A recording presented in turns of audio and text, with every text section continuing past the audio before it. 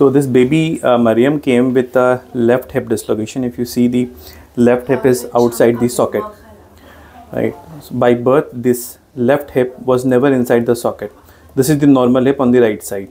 This is the condition in which the child came to us.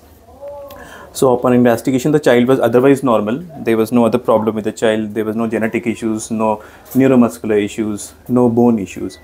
So she only had an isolated dislocation of the left hip. Now if you see the left hip is outside the socket and the left hip ball is much smaller than this side. This is much larger, this is much smaller and it is way outside. So there are a lot of soft tissue obstructions to this. So she was taken up for a surgical correction where the left hip was cleaned out this hip was put inside and correction of this shallow cup if you see the, the cup is quite shallow so we had to make it deep so we had to make a cut in the bone and turn the bone down and stabilize it, it with wires. So this is how the surgery was done. You see the hip is now inside well inside the socket deep inside the socket. This is the bone cut and this is the bone graft.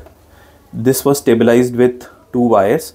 This wire these wires were removed at 6 weeks and the child was put in a plaster. This is known as a spica plaster.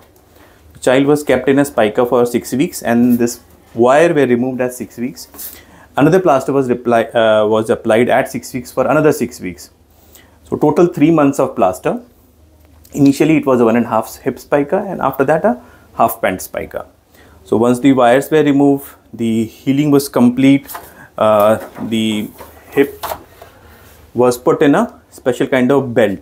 Can you see the belt? And the hip is now inside. The bone has now healed carefully. Close up, show the close up here. If you see carefully, the hip is now inside. The bone graft and the osteotomy has completely mixed up and has completely joined together. It's now single bone and the cup is now much more deep. And uh, this is the status after uh, seven months of surgery with the child now already walking with the belt. The osteotomy has healed. The ball is inside the socket. The head is still small, so it is expected that the child, as soon as she starts walking, uh, the head will uh, will increase in size. So the child is currently put in a brace where she is able to walk with the brace on. The belt is initially worn for around six months full time, and thereafter if the hip is stable enough, the bone is developed, the hip doesn't go out or is not subluxating outside, then we discontinue the daytime bracing and continue only nighttime bracing. So that's the bracing protocol for next uh, uh, three to four months. Usually it is stopped by around nine to 10 months, but if required, we may even need to continue the bracing for another six months.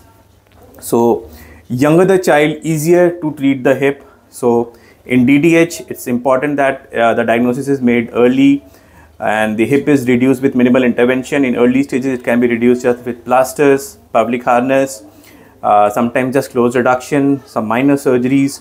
If the child is older, we may require major surgeries to put the ball in. Sometimes we may need to cut the femur bone, sometimes we need to cut the pelvic bone, like in this case. And that's how DDH is treated. Thank you.